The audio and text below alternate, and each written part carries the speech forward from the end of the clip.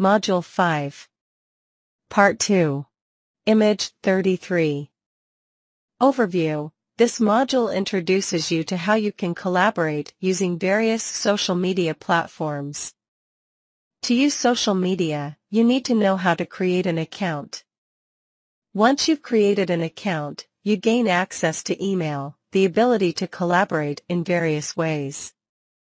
You can also save in the cloud, i.e., on the internet, and many other possibilities. However, you must also be aware of security threats and how to avoid them. Social media means being more independent and having an active social life. Image 34 What is social media?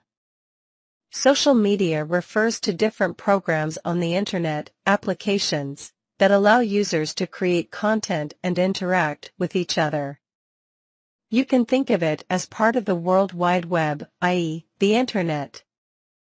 And it comes in various forms like photo sharing platforms, social games, chats, instant messaging, business networks, social networks. Social media is computer-based technology that facilitates the sharing of ideas and information and the building of networks and communities. It's a tool people use to connect with friends and family. Users can post and share photos or videos. You can create your own blog, a digital diary. You can play games with others even from the other side of the world.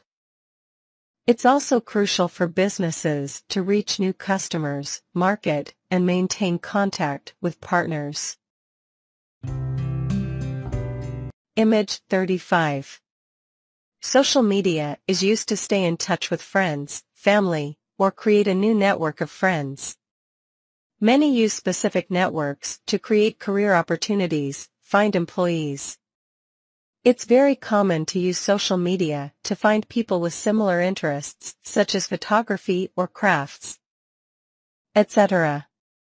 Examples of social media 1. Facebook 2. YouTube 3. WhatsApp 4. Facebook Messenger To use social media, you need to create an account and a profile.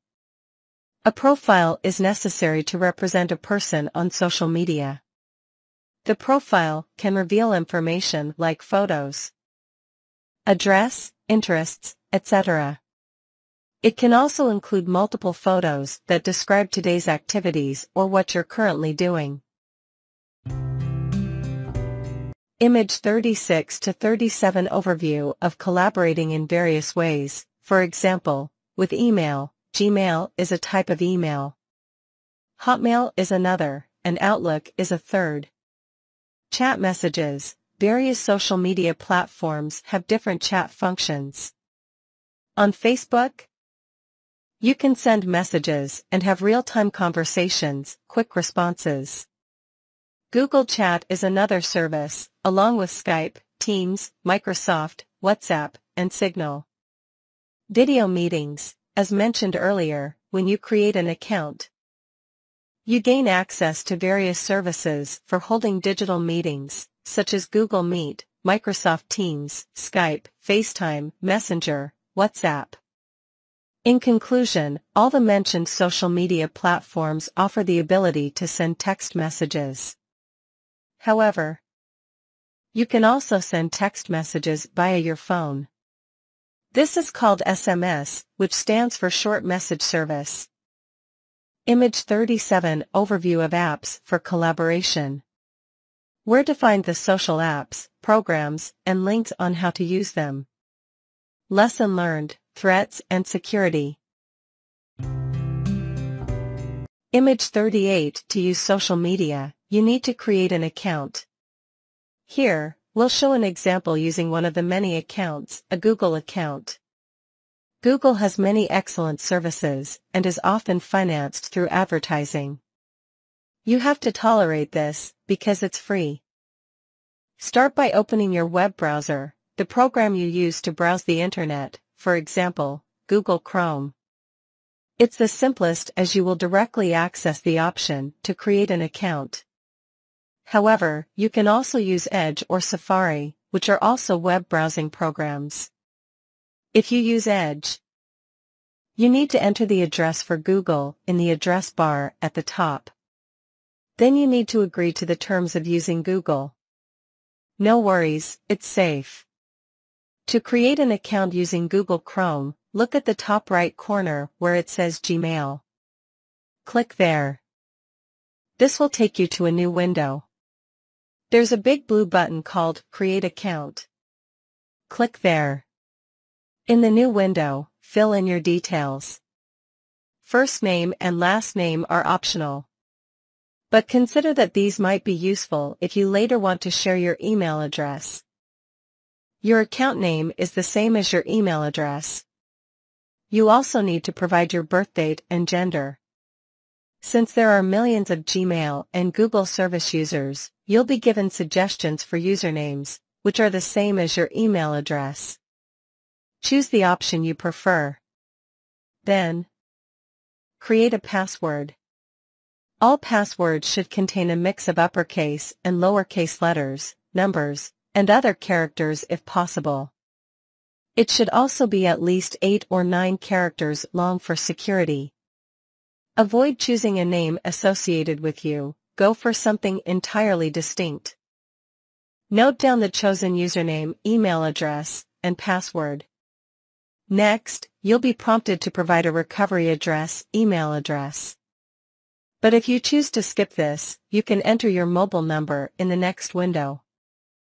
This is a measure to prevent others from accessing your account and a safety net if you forget your password.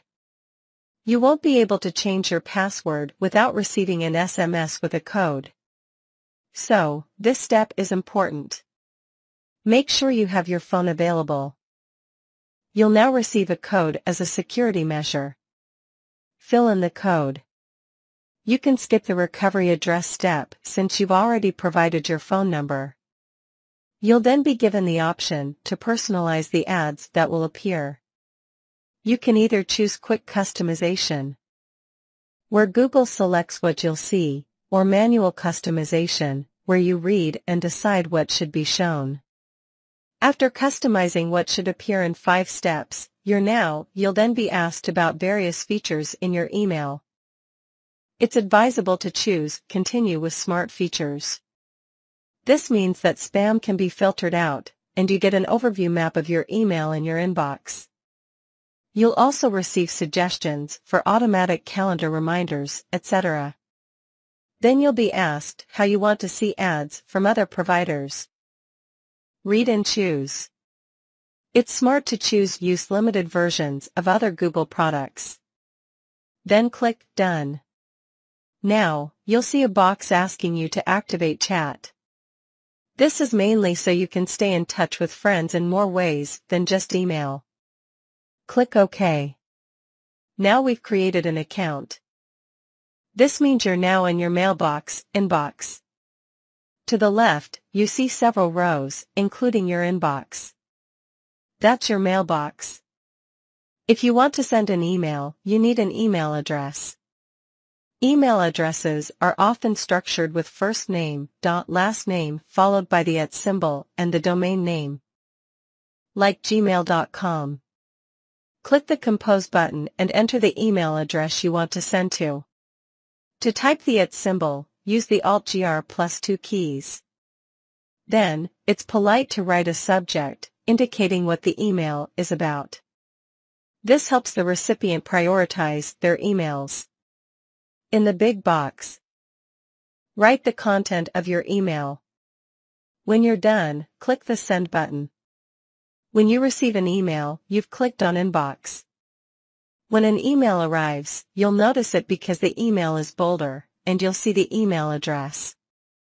Click the checkbox in front of the email and click on the email itself to open and read it. On a computer, use the left mouse button. After reading the email, you might want to reply.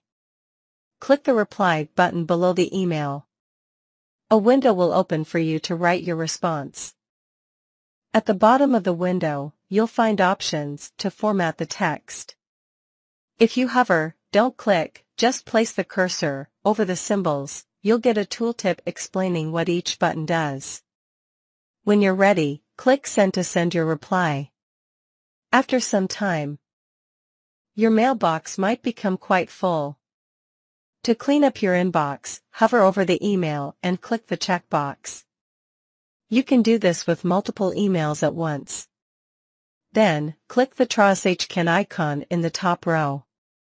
People you've emailed are often saved in a contact book. But if you want to add an address manually, click the icon on the right that looks like a person. Click Create Contact and enter the details you want. Important, click Save. When you want to email and use an existing contact, click on the person icon, click on the contact. And a new email will open with the address already in the To field. When you've sent an email, you can find it under the Sent section. It's good if the recipient signals that they haven't received your email. Then you can check here if you might have entered the wrong address. Image 39 in the top right corner, you see an icon with dots. If you click on it, other services provided by Google will open up.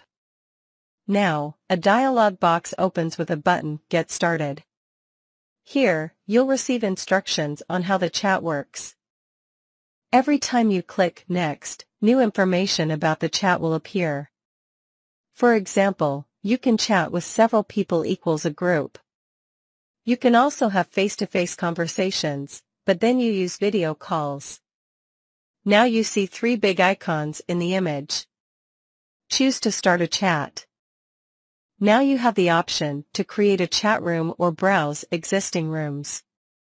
Or choose message requests. Choose message requests here. In the left part of the window, you can click the plus sign. A box opens.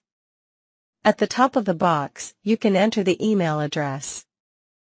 The recipient will receive a message that you want to have a chat conversation, assuming the recipient has enabled notifications.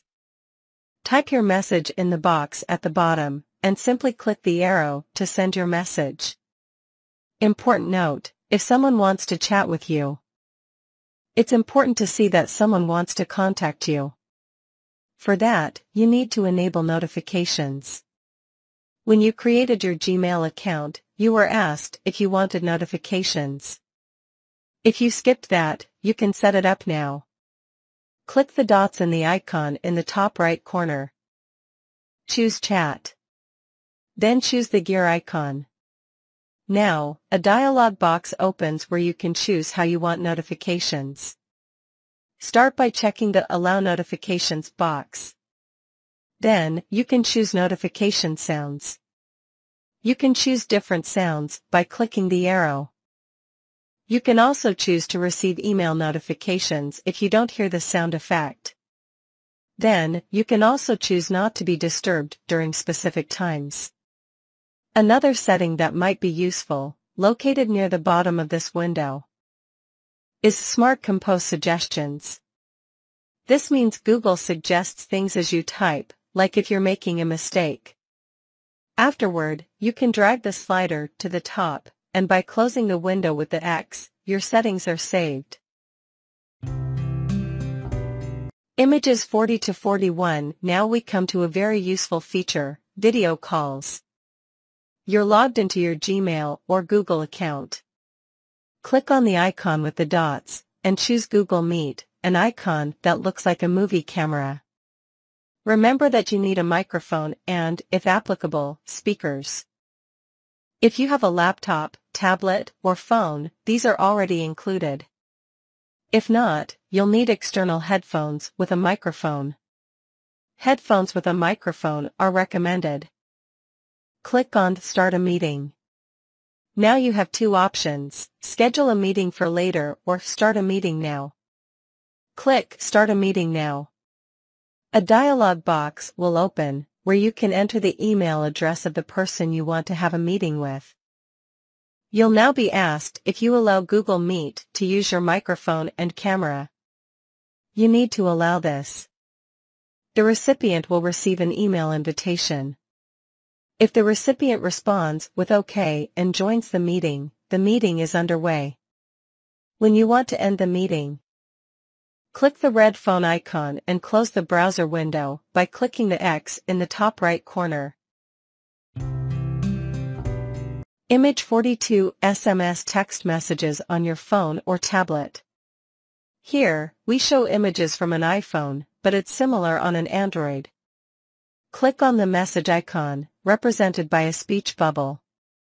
On the iPhone, the background of the icon is green, while it's blue on an Android. But the symbol represents a speech bubble regardless of the phone you're using.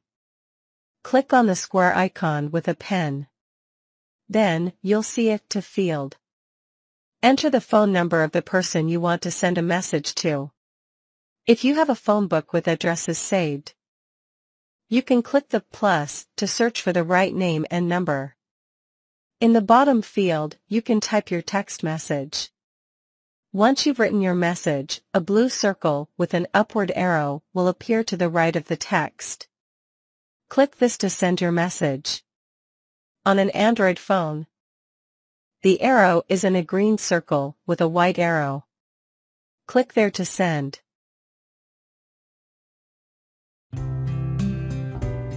Image 43 MMS message stands for Multimedia Messaging Service.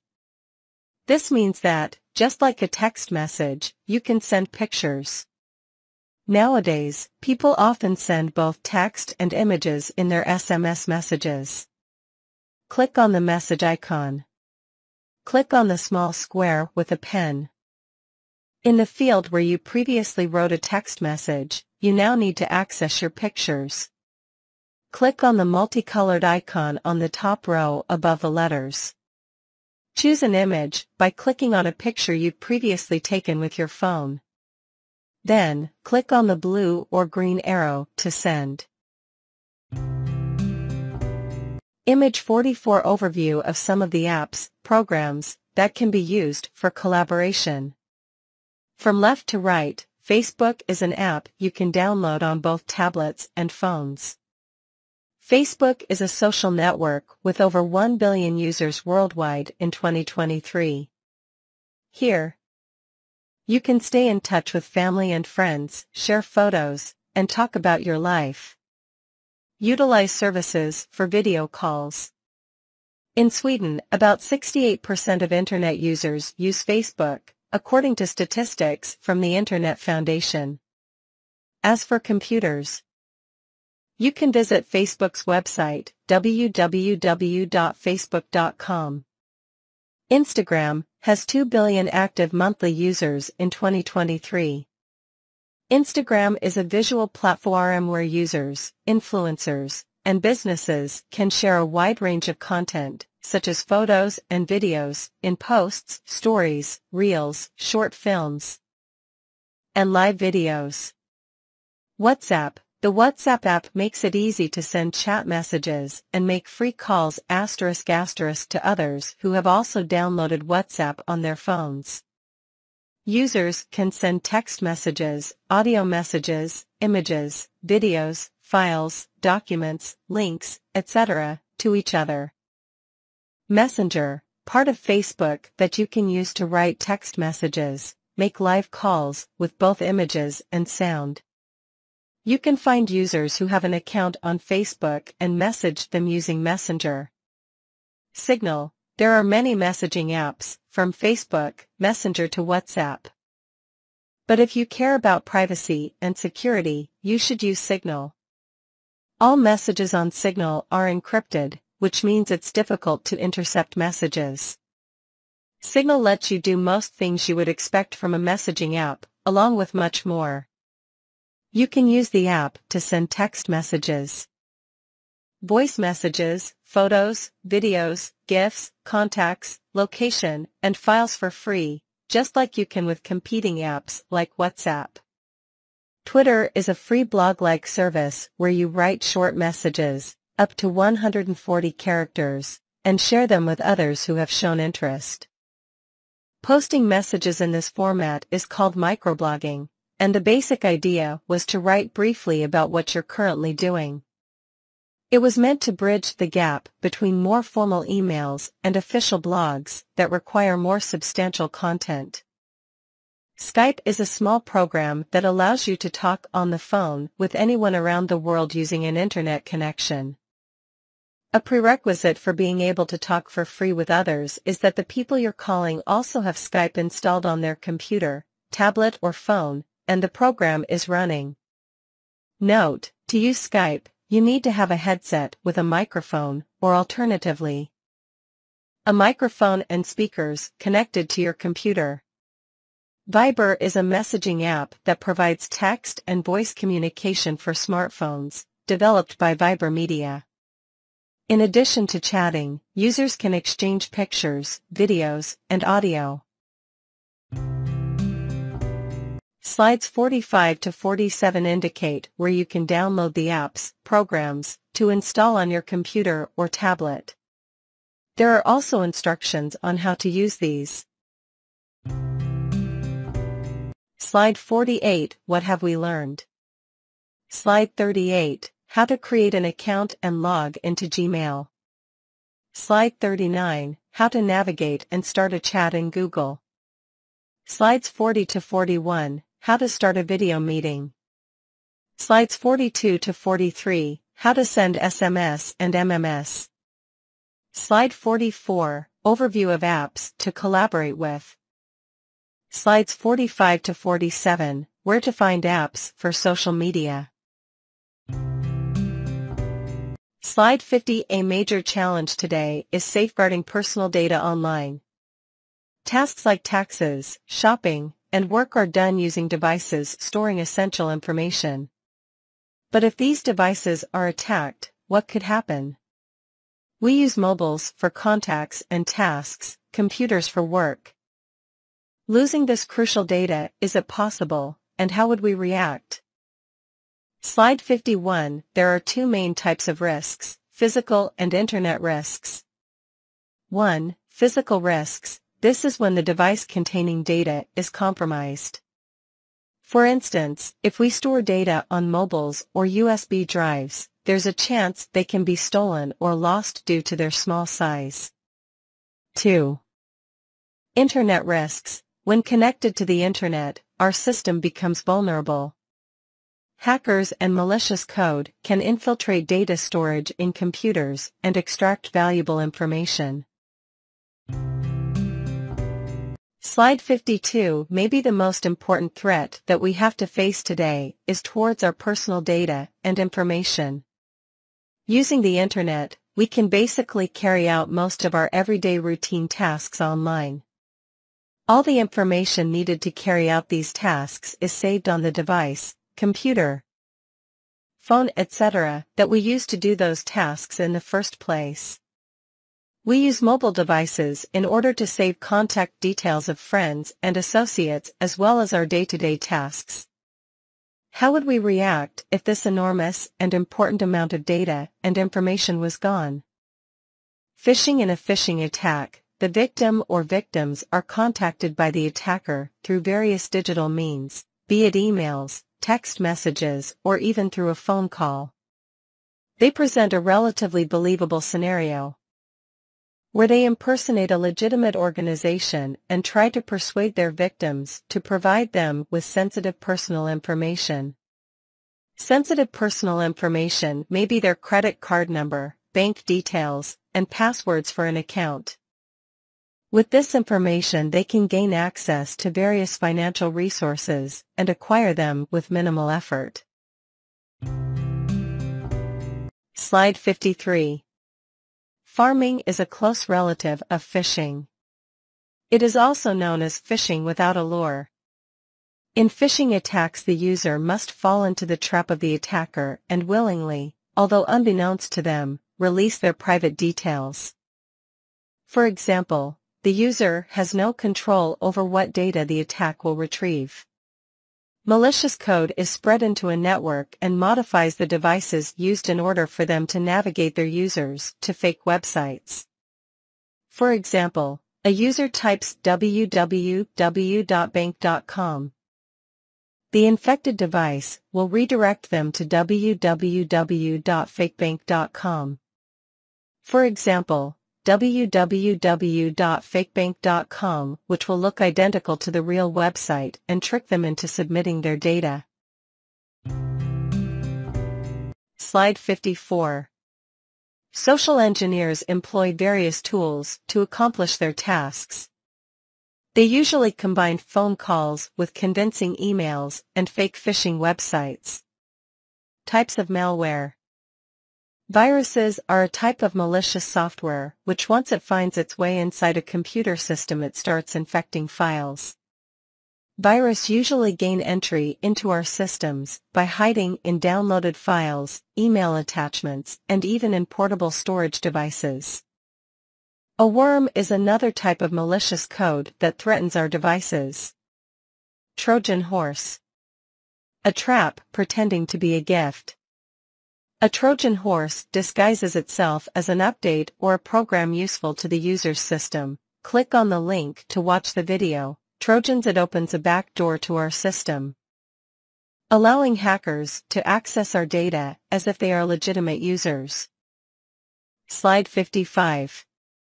Adware software, a type of program which bombards the user with constant advertisements either chosen at random or target to them specifically based on their previous online activities. Sometimes, those advertisements can even redirect users to infect or phishing websites, so we can see that their purpose is not so shallow, but work in an indirect way in order to carry out their malicious action. Ransomware, this type of malware that prevents or limits users from accessing their system. Either by locking the system screen or by locking the user's files unless a ransom is paid.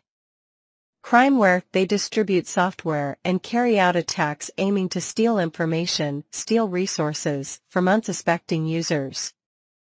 Crimeware can easily combine any of the other types of malicious software we have seen above.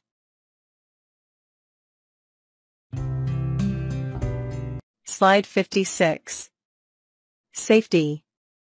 Dangers of online social networking sites. Not all users engage in the virtual space in order to make friends. Users in order to acquire from them their personal information for their own malicious reasons. These are known as identity theft cases. This can lead to scenarios of loss of data and even of various resources such as unauthorized withdrawals and transfers from personal bank accounts. Dangers of surfing and shopping online. The problem is that users do not really come into direct contact with the vendor. This can be a problem as not all selling points can be trusted. We need to consider comments on the interested product, the reputation of the seller and carefully check the product description in order to ensure that we are buying what we are really looking for. Danger of shopping online. Users of the internet should be very careful and take all the necessary measures when it comes to their bank details. It is easy to carry out an online transaction. All is needed are a few numbers from your credit card. If it's easy for the users, it is easy for the cybercriminal as well. Phishing websites, fake vendors, and infected websites, all are risk factors users have to be beware of since through them, directly or indirectly, they can lose a large amount of their money. Slide 57. How to stay safe. It's no secret that the internet is home to some shady characters, but staying safe online doesn't require you to turn your internet off. Instead, stay mindful and take a look at these 10 easy tips for internet safety. 1. Don't share personal information. 2. Double-check and verify links. 3. Use secure public Wi-Fi. 4. Use a VPN. 5. Only log into sites that start with https colon slash slash. 6. Be careful who you chat with. 7. Turn off your Bluetooth. 8. Use antivirus software.